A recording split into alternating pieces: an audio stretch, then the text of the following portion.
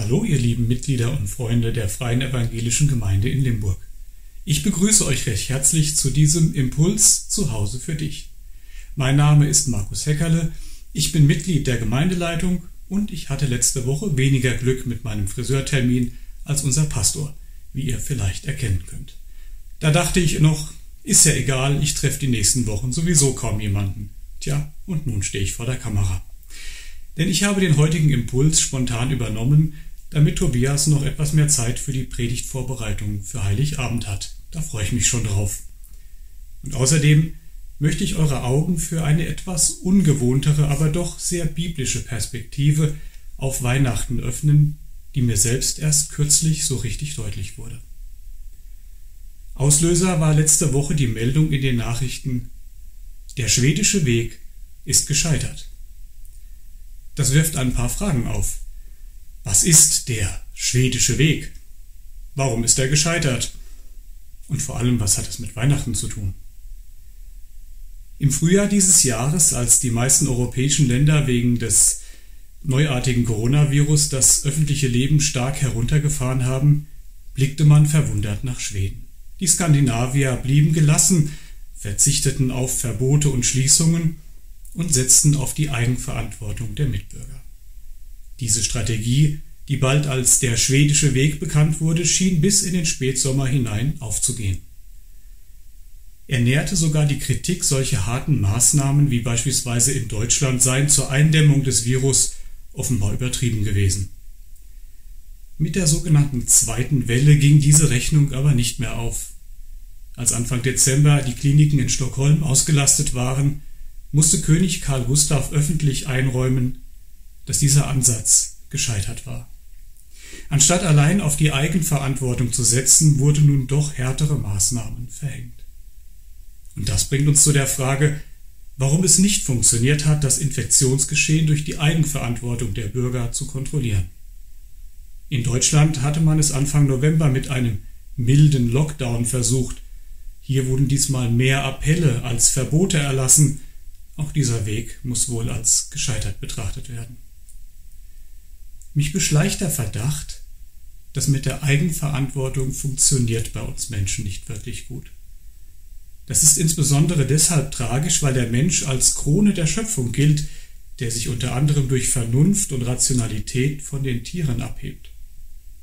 Und dann sehe ich, wie kürzlich an einem Freitag früh ein Handwerker beim Bäcker 30 Brötchen kauft, um seinen Kollegen ein Frühstück zu spendieren. Oder wie unsere Nachbarn an diesem Wochenende mit einem halben Dutzend Bekannten spät abends im Garten feiern. Und ich frage mich, wie die dann trotz Ausgangssperre ab 21 Uhr noch nach Hause gekommen sind. Und ich beginne mich über den inzwischen so aufgeklärten Homo sapiens zu wundern. An Gott glaubt man nicht mehr, weil der angeblich von der Wissenschaft widerlegt wurde – aber wenn es um die Erkenntnisse der Virologie und der Mathematik zur Ausbreitung eines Virus geht, dann ist die Wissenschaft offenbar auch nicht zwingend relevant für das eigene Leben. Man wird ja wohl noch mal eine Ausnahme machen dürfen. Und so hat die heutige Menschheit, wie es scheint, nicht nur in weiten Teilen Gott, sondern auch die Vernunft über Bord geschmissen. Immer wieder hieß es, das Virus lege Probleme offen, die vorher schon da waren. Zum Beispiel als im Frühjahr die Versorgung mit medizinischem Material knapp wurde und die Schwächen des Gesundheitssystems zutage traten. Ich habe gerade den Eindruck, dass das Virus auch auf ein Problem der Menschheit insgesamt hinweist. Ein Problem, über das in Kirchen und Gemeinden immer wieder gepredigt wurde und wird. Irgendwas stimmt mit der Menschheit an sich nicht. Und damit kommen wir zur Frage, was das Ganze mit Weihnachten zu tun hat. Euch ist heute der Retter geboren. Dieser Satz aus der Weihnachtsgeschichte legt den Finger in die Wunde. Denn wer einen Retter braucht, befindet sich offenbar in einer schwierigen Lage. Und das Problem ist nicht Corona, sondern die Menschheit selbst. Angefangen hat es damit, dass der Mensch auf den ersten Seiten der Bibel meinte, er könnte auch ganz gut ohne Gott auskommen. Im Garten Eden können wir beobachten, wie Gottes zu diesem Zeitpunkt einziges Gebot lange, so lange uminterpretiert wurde, bis man es schließlich nicht mehr ernst nahm. Sollte Gott gesagt haben, Nein, das ist ein Missverständnis. Ihr werdet nicht sterben, sondern was dann mit der Menschheit passierte, ließ sich nur noch durch klare Regeln einigermaßen einhegen. Sie wurden nötig, damit die Menschheit nicht völlig aus dem Ruder läuft und überall nur noch Mord und Totschlag herrscht. Paulus spricht im Neuen Testament von der Bedeutung des Gesetzes und deutet zugleich einen Ausweg an. So hat das Gesetz uns in Zucht gehalten bis zum Kommen Christi. Damit ist offenbar Weihnachten gemeint, als unser Retter geboren wurde. Und so fährt Paulus im nächsten Satz fort, dass wir nun aufgrund des Kommens Christi einen solchen Zuchtmeister, damit meint er das Gesetz, nicht mehr nötig haben. Also hätte der schwedische Weg doch funktionieren müssen? Nein, so einfach ist das nicht.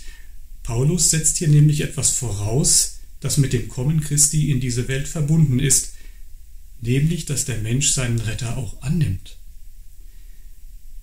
So lesen wir zum Beispiel im Johannesevangelium, allen aber, die ihn aufnahmen, gab er die Macht, Kinder Gottes zu werden, allen, die an seinen Namen glauben. Indem ein Mensch dieses Angebot annimmt, also diesen Jesus in sein Leben aufnimmt, passiert etwas ganz Existenzielles. Der Mensch wird zu einem neuen Menschen. Ist jemand in Christus, dann ist er eine neue Schöpfung, sagt uns Paulus im zweiten Korintherbrief. Denn Christus ist, 1. Kolosser 1, Vers 15, das Ebenbild des unsichtbaren Gottes, der Erstgeborene der ganzen Schöpfung. Somit ist die Geburt Jesu Christi im Stall von Bethlehem nichts weniger als der Anfang einer neuen Menschheit. Dazu nochmal Paulus im Kolosserbrief. Ihr seid zu einem neuen Menschen geworden, der nach dem Bild seines Schöpfers erneuert wird. Gottes Idee mit dieser neuen Menschheit ist dann tatsächlich so eine Art schwedischer Weg. Beim Propheten Jeremia heißt es, dass dann idealerweise keiner mehr den anderen belehren muss, weil Gott sein Gesetz, also das, was gut und richtig ist, in unser Herz, in unser Inneres legt. Ob das funktioniert, steht und fällt aber damit, ob wir uns diesem neuen, zu diesem neuen Menschen umgestalten lassen, also, wie Paulus es so schön in Epheser Kapitel 4 beschreibt, den neuen Menschen anziehen und so zum vollkommenen Menschen werden und das und als gesamte Gemeinde Christus in seiner vollendeten Gestalt darstellen. So stellt sich also zu Weihnachten weniger die Frage, was wir mit diesem Kind in der Krippe anfangen sollen, sondern eher, was dieses Kind mit uns anfangen, aus uns machen möchte. Gott lädt uns ein, Teil dieser neu erneuerten Menschheit zu werden. Dabei ist Jesus Christus so eine Art zweiter Adam. Paulus verwendet diesen Ausdruck in einigen seiner Briefe. Vielleicht habe ich euer Interesse geweckt, diesem Gedanken in den nächsten Tagen mal nachzugehen. Gott schafft in Jesus eine neue Menschheit und lädt dich dazu ein, dazuzugehören. Die großen Familienfeiern fallen ja jetzt aus, vielleicht bleibt da mal etwas Zeit, im Neuen Testament zu forschen.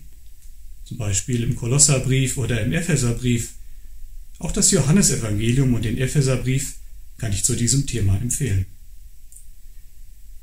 Und zum Schluss bleibt mir noch die, der Verweis auf unsere Gottesdienste. Da hat es jetzt sehr kurzfristig leider eine Änderung ergeben. Der 14.30 Uhr Heiligabend-Gottesdienst muss leider ausfallen. Was stattfinden wird, Stand jetzt, ist um 17 Uhr der Heiligabend-Gottesdienst mit, ähm, ja, mit Besuchern, aber auch als Livestream für zu Hause.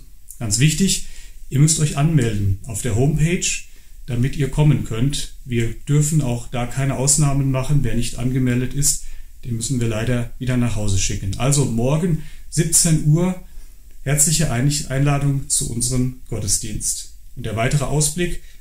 Am Sonntag, dem 27.12. findet leider kein Gottesdienst statt und an Silvester nur ein Livestream-Gottesdienst ohne Gäste, aber dann auch um 17 Uhr.